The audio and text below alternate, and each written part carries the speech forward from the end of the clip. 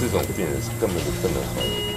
手术台上的母亲名叫林晴，已经三十八岁了，她将要迎来自己的第三个孩子，前两个都是女儿，家里还是希望她能有个儿子的。产房里所有的医生都很清楚，林晴的胎盘长得并不好，属于凶险型前置胎盘，孩子出生的时候和胎盘剥落的瞬间就会引发大出血，而孕产妇死亡的主要原因就是产后出血。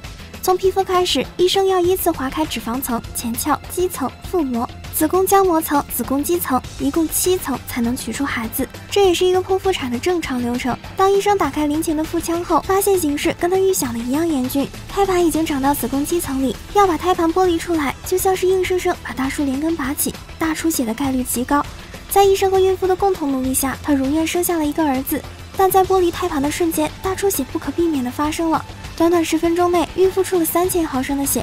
要知道，一个成年人的血量才不过四千毫升，而现在最要命的是，血根本止不住，像是喷泉一样喷涌出来。医生紧急通知家属，如果采取了一切保守性止血的方法，但仍然不奏效的话，有可能需要摘除子宫，要家属做好思想准备。我不行了，这下去要出命了。目前为止，孕妇已经输出了六千毫升的血，可是剖腹产后的大出血仍旧是止不住，医生只能当机立断，决定摘掉子宫。林晴的丈夫在同意书上签字，产房里的妻子还昏迷不醒。但拿掉子宫后，孕妇的大出血止住了，母子平安。这天，林晴一共出了一万毫升的血，相当于体内的血液换了三遍，生死之间只差毫厘。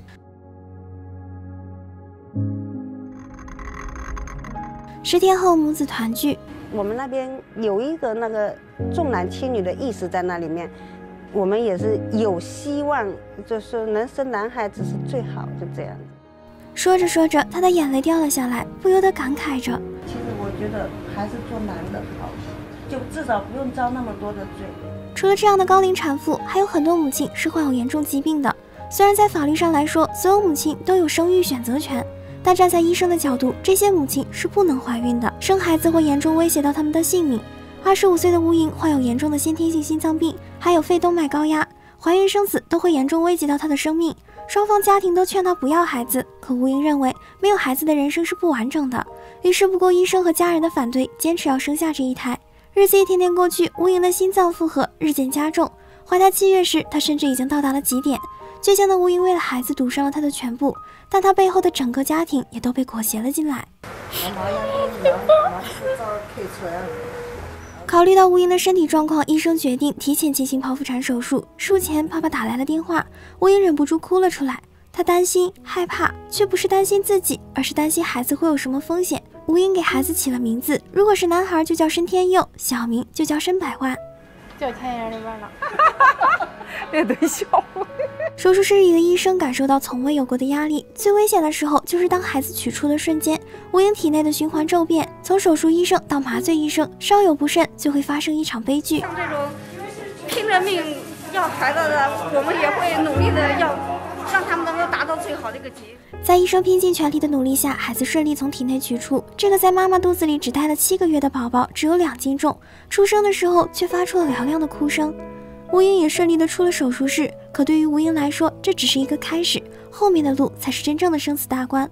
剖腹产手术第二天，吴英就醒了，但她的生命体征却极其不稳定。正常人的血氧饱和度在百分之九十五以上，而吴英只有八十一，这意味着他的血压会随时骤降，心跳加速，甚至死亡。但孩子的状况都很不错，他的骨骼和心脏都发育的很好，正在努力的适应着这个新世界。在监护室的第八天，吴颖的血氧饱和度下降到了百分之五十九，而且他的肺部也出现了感染。知道，你别挂念了，其实我也很想哭，但是你不能哭。他妈在这里，你在哭，他在哭此时吴莹的状况差到了极点，医生冲进病房进行抢救。啊，再出了，两个都散弹了。冰冷的仪器发出了警报，吴英最后还是没有撑过这道难关，她的生命永远定格在了二十五岁。这个如花的年纪，她还没来得及见到自己拼了命生下来的孩子。医学不能解决所有问题，医生尽了最大的努力，但仍旧抵不过命运的捉弄。每一个新生命都是母亲历经九死一生换来的，这是这个世界上最惊心动魄的创造。也正因如此，它值得我们年复一年的去庆祝。生日这两个字的分量，远比我们想象中的沉重。纪录片名叫《人间世》，讲述的都是关于生命的那些爱和痛。感兴趣的可以找来看看。好啦，今天就到这里啦，我是王美丽，我们明天再见吧。